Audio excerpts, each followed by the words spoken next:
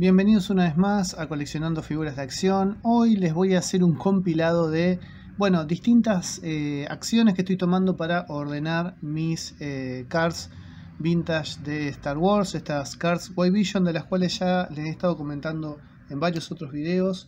Eh, y bueno, se me ocurre no solamente comentarles, bueno, cada tanto como que las he comprado y los lotes que he conseguido, sino también comentarles, bueno, un pequeño paso a paso de cómo voy organizando esa colección, qué hago con las repes, eh, bueno, cómo me estoy organizando con el tema de los folios.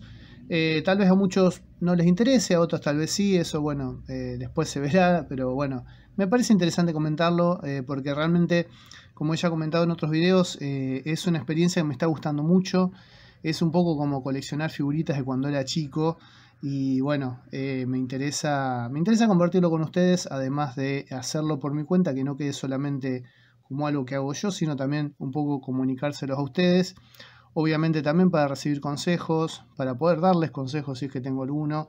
Y bueno, para compartir esta cosa linda que es el coleccionismo, en este caso de trading cards. Em, así que bueno, ¿por dónde empiezo? Primero, eh, se recordarán en el episodio anterior de todas estas aventuras, había conseguido un lote muy grande de, cards que eh, venía con una, eh, no solamente con los folios, que son muy específicos, estos folios White Vision, ya he comentado que son bastante difíciles de conseguir, por lo menos acá en Argentina.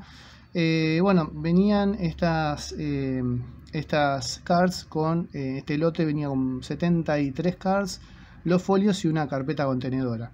Que no era nada especial de Star Wars, pero una carpeta que está en buen estado, así que bueno, la verdad que había sido muy buen lote. Bueno, yo cuando hice el video cometí varios errores. Primero, no revisé muy bien el tema de las repes. Dije que iba a tener tres o cuatro repes. En realidad tuve varias repes más.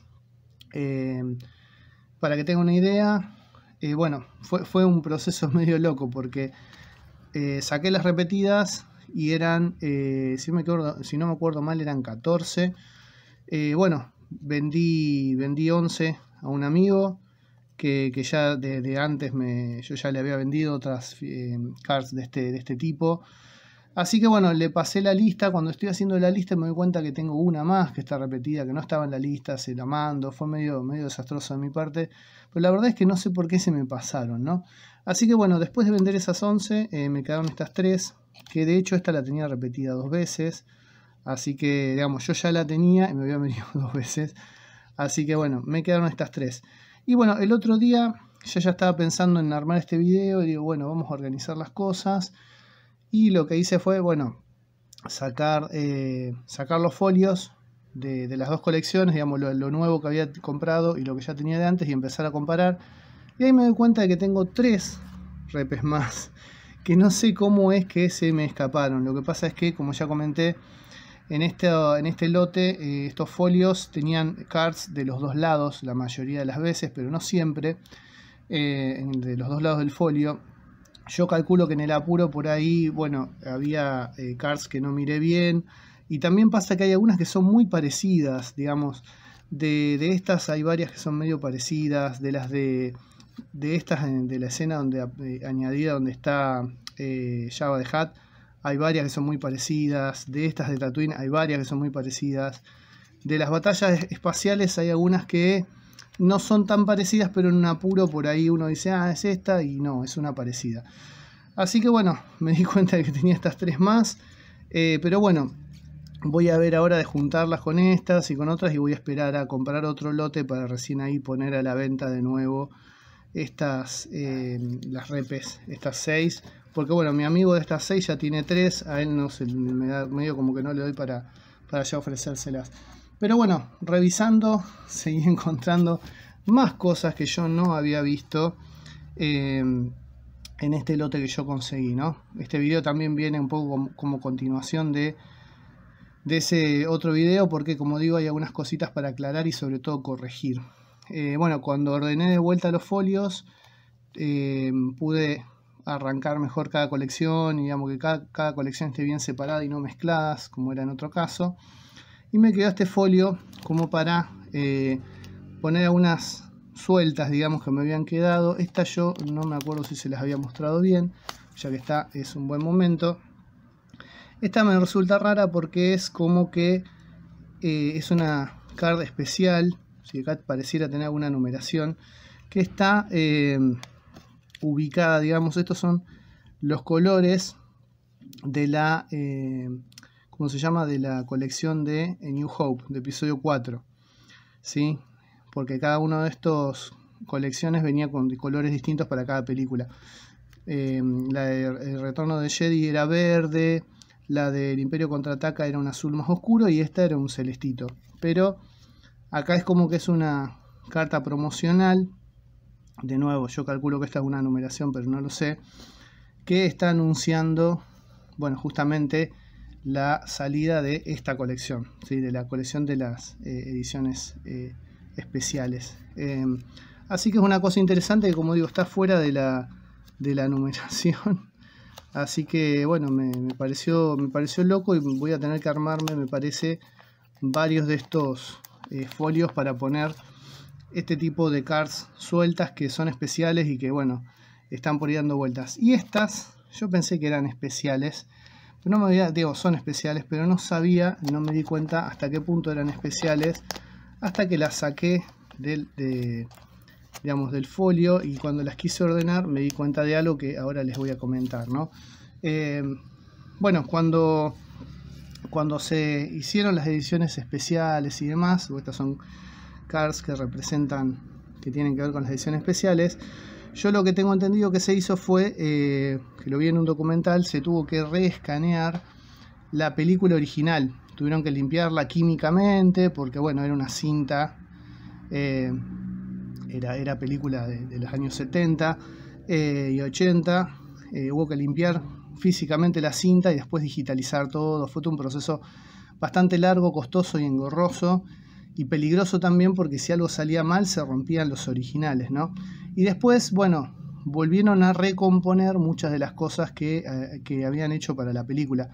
Por suerte había muchas, como se hizo como una especie de, como se hace el proceso de animación, ¿no? de que se van poniendo distintas capas de cosas filmadas todas juntas y de manera que coincidan y parezca que pasaron un montón de cosas. Bueno, eh, afortunadamente muchos de esos elementos eh, estaban por separado y se pudieron volver a refilmar de manera de mejorar eh, el resultado, ¿no?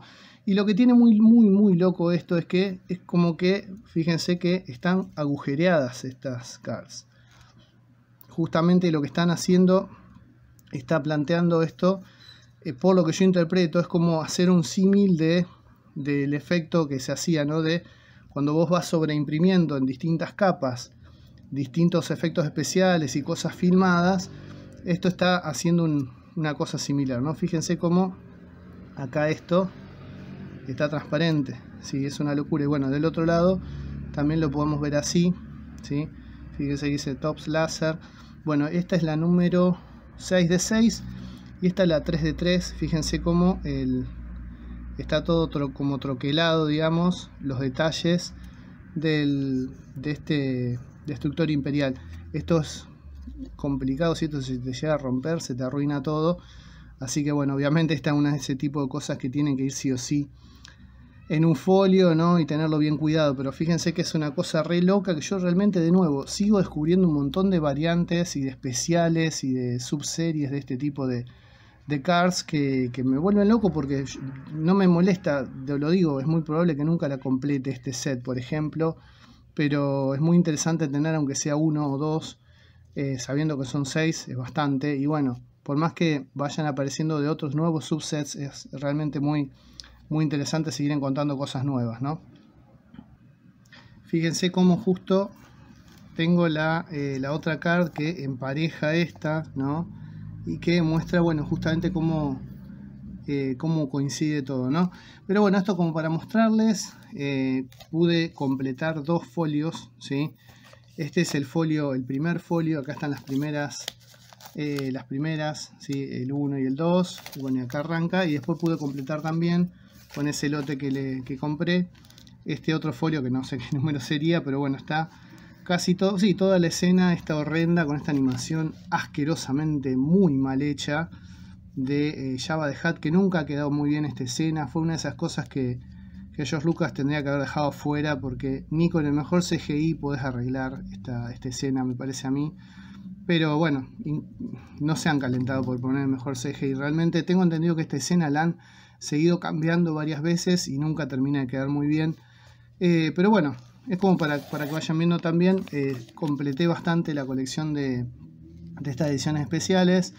Ya tengo mejor ordenadas porque eh, había tenido que amontonarlas, digamos, como no tenía folios de manera no consecutiva. Ahora sí pude dejarle los espacios a los folios para poner las próximas cards y bueno, ir terminando de completar todo. Y finalmente están las, eh, bueno, todas estas, estas cards de, de Empire Strikes Back. La mayoría de las cards eran de esta película. Eh, y estas, bueno, no las cambié mucho de los folios porque no porque estaban todas bastante bien ordenadas de manera bastante consecutiva.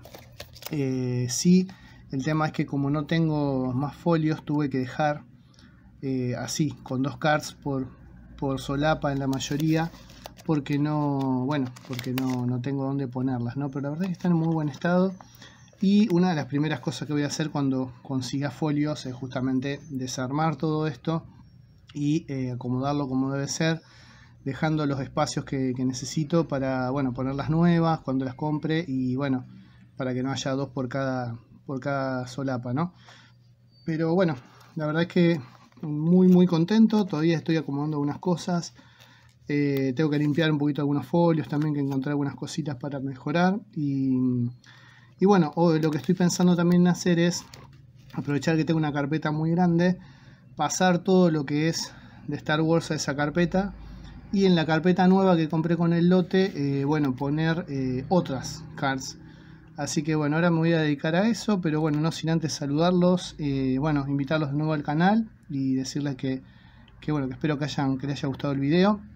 Como siempre, comento si alguien tiene folios o cards de, esta, de este tipo que le interesen.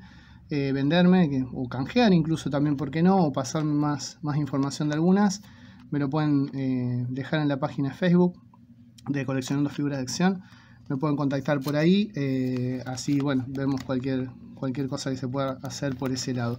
Así que bueno, espero que les haya gustado el video y nos vemos más adelante cuando tenga más cositas para comentarles sobre esta colección. Les mando un abrazo muy grande. Hasta luego.